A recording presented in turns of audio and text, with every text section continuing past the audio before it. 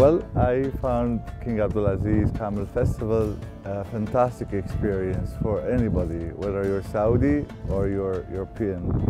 I come from a country where it values animals, um, particularly horses and also cow and sheep.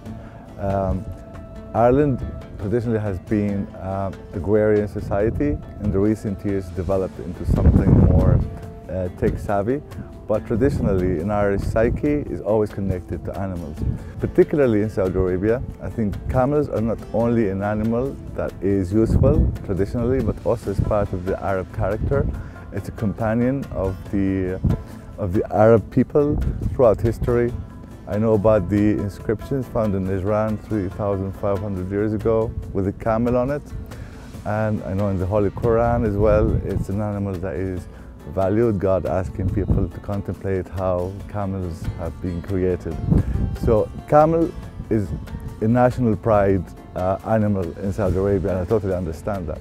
And I would really encourage uh, particularly young Saudis to feel connected to this side of their culture. It's, it's, it's their pride and it's their history. And in Ireland, as I said, we're very tech savvy, we're good at uh, so many areas um, in the technological world, but at the same time, still an Irish person connects with its farming background, with uh, the animals that provided uh, livelihood for Irish people for centuries.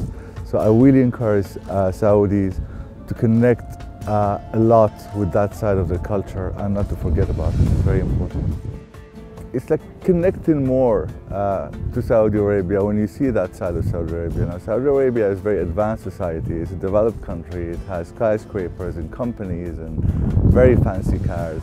But this side of Saudi Arabia explains a lot about generosity that you see today in Saudis who are very educated, very smart people like yourself who speak perfect English, but then they have this Arab side where you have the generosity of heart and uh, and uh, when you see the tent and the Catherine here, it explains basically where all this came from. So it's really, it puts people in perspective. It shows, even with humble origins, these values of generosity and, and people helping each other uh, has been here for centuries.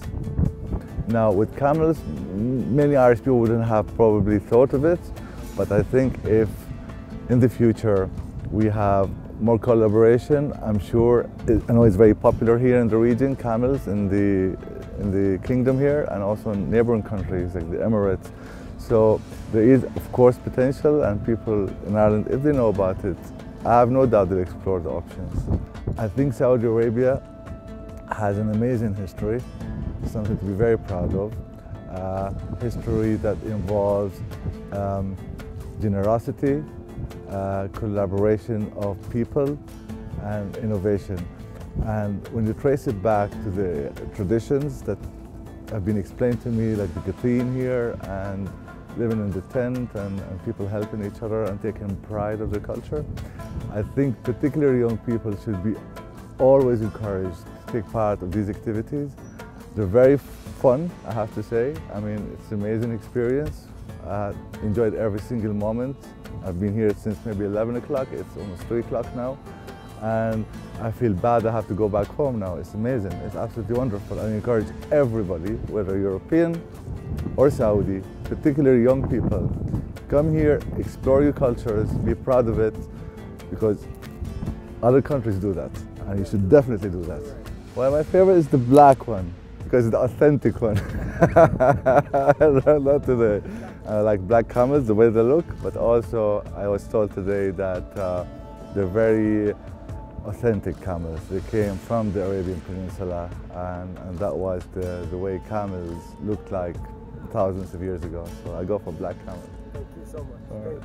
Thank you so much.